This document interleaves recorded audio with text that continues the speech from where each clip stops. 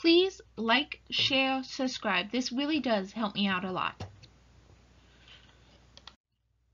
Welcome to Saint of the Day. Today is February the 8th, and today's saint is Saint Jerome Emiliani. Born in 1481, Saint Jerome was a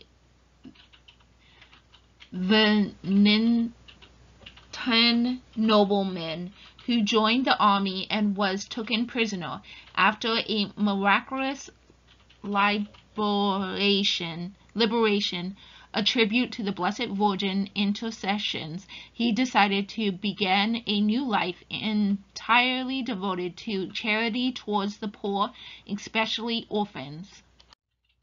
The saint was ordained at 37 and plunged into his real life's work. Around 1530, he founded the first known orphanage of modern times and in the ensuing years he established many more, as well as hospitals and institutions for fallen women.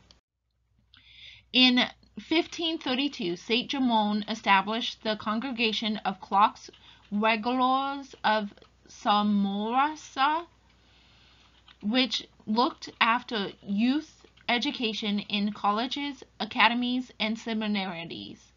He was the first to teach children the faith by using questions and answers. Saint Jerome died in 1537, a victim of an epidemic.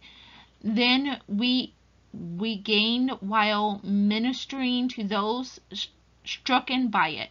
He was canonized in 1767 by Pope Clement XIII. In the name of the Father, the Son, and the Holy Spirit, God, Father of mercy, you made Saint Jerome the helper and father of orphans. By his intercession, help us pursue that spirit of adoption by which we are called and are your children. Amen.